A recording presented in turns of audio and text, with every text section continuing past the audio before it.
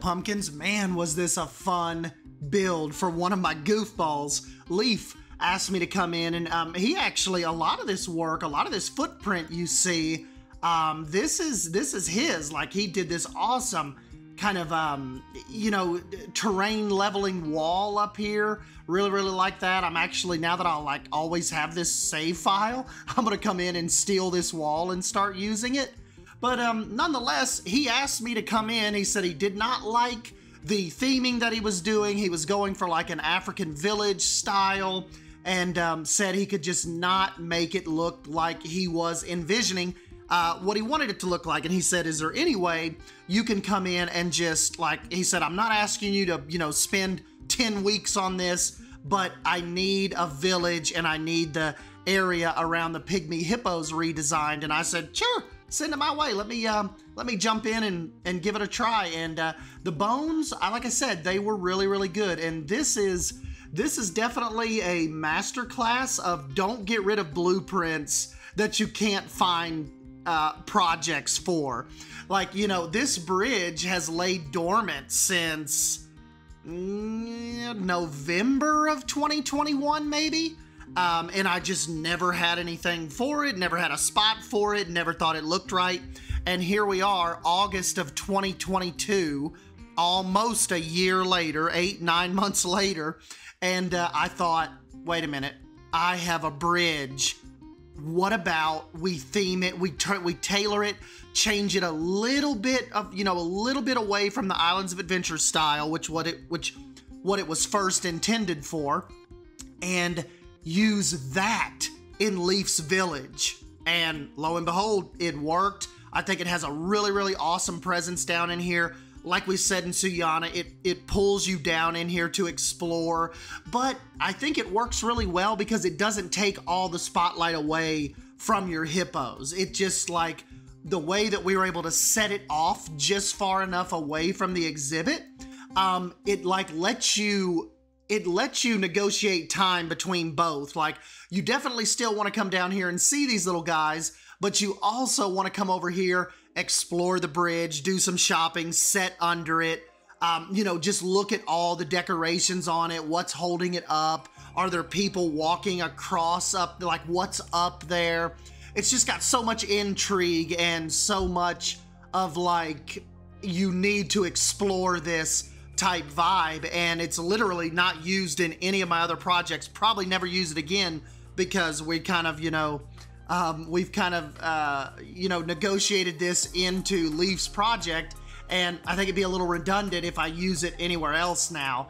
Uh, I just think it just it fits so perfect right here, and to kind of tell the, you know, tell the story of of this whole area. Um, one of the things I changed about Leaf's exhibit uh, I really, really kind of uh, narrowed the viewing glass. Leafs kind of it come way out over here. Still looked good. Like it was actually um, it was actually a tough decision because I was taking so much glass away and I was taking so much viewing viewing area away. But I just figured it. I figured I could theme it better if it was more condensed. Like, there's no way I could get away with this many logs, I don't feel, and with having to repeat it so much. And with the glass wall that we first had in here, the design would have had to carry this thing three different steps, I'd say. Um, I just think uh, the overlapping, I don't think I could have made it look right.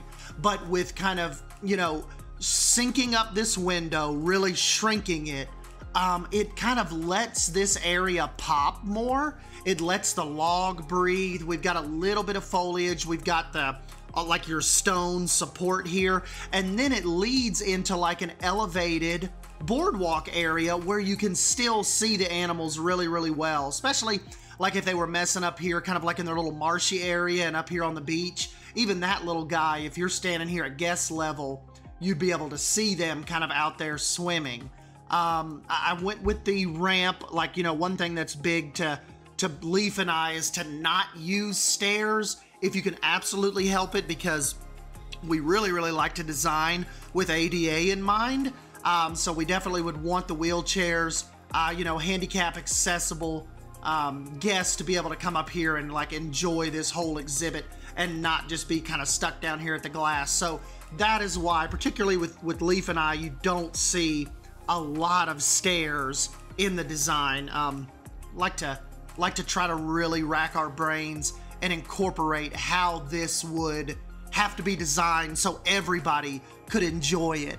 And uh, that's another fun part about just this little bit of an elevated ramp, um, and then kind of up here to your shade and your covered beach area. We've got the little um, little second uh, second secondary barrier fencing, which I learned a lot about from Simply Savannah, you know, like coming in and being like, Sdan, you idiot.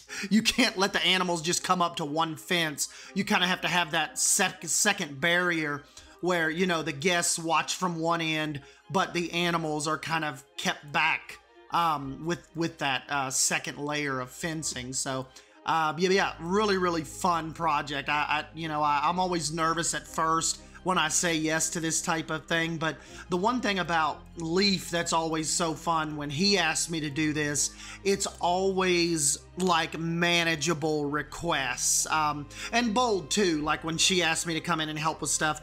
It's always, it doesn't seem as daunting when they ask you to just do an exhibit and a themed out area than when you're going in and trying to like build a whole section of a zoo that kind of that kind of becomes too much and you almost end up taking over from the original designer. So I love kind of popping in and doing these uh, doing these little kind of one-off builds for my buddies, and this was uh, definitely no exception. Um, this guy right here, this was kind of like a little, uh, almost just kind of like a little housing back, you know, like a little staging area that came off of my Tamu Tamu uh, quick service little uh, counter restaurant and Leaf said that he may even turn this into a restaurant one day. But I just thought it was, uh, I just thought it flowed with that hill really well because you can see Leaf actually has all of this sloping down this way. So you can see how high the house is and some of this, uh, you know, some of these angles when you're, you like when you're down here. Um, so, you know, it was just, I, I think uh, we were able to move it over just far enough and it just plays on that hill really, really well. Um, we've got a little food truck in here that's parked here for the day. This right here was my first Planet Zoo blueprint ever. This was, uh, I believe if you still go to my workshop right now, this was uh, my first little shop that I ever did um, when we first got our hands on Planet Zoo. And this will always be one of my favorite builds. If anybody asks me to do an African build, the uh, Mellow, the Mellowinga uh, guest house is always going to be a part of that. Accommodations Internet Cafe. Just so proud of how that come out, and I, like I said, I I try to use it whenever I can. Um, I really need to go in. I just kind of ran out of time. I didn't have time to like start a whole new custom building. Um, but I really need to get back into Animal Kingdom and look up some more of those buildings that we haven't tried yet and uh, and and get some more of these going, just so I kind of have some more ammo for future builds. Uh, and uh, you know, just such a such a fun design concept for me to jump in and and try to do those uh, try to do those more African village style builds. And that's right when uh, when Leaf asked me that and told me that was kind of the uh, kind of the theme he was going for. I was like, yes, please, yes, Daddy. And this is another thing. It's just so cool that I was able to contribute. Like, look at my spot here in the grand scheme of things with this killer city zoo he has going on. You definitely got to go check out that playlist. And he's not very many, not a, not a ton, ton episodes in. So if uh, if you get a chance, definitely go uh, check his playlist out, and I'll I'll link his channel down below.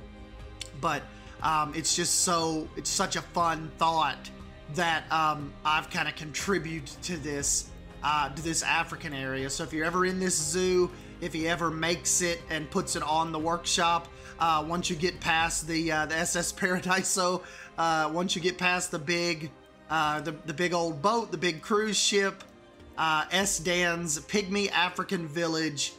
Is what awaits you in this little transition area. So, anyways, guys, I'll jump on out of here. Definitely go give Leaf a follow and uh, he put a video up about this area too. So go uh, hear his thoughts on it and kind of let him know uh, what you think about this build. And yeah, thank you guys. I'm Sdanwolf as always. Don't forget to smash the like button if you end up enjoying this video and subscribe to us to keep up with all this Planet Zoo mischief. Leaf definitely has you uh, with the Planet Zoo mischief. Almost releases daily videos. And uh, I'm sure you'd have a, an awesome time if you're not already watching him. So, uh, yep, thank you. I'll catch you in the next video. See ya!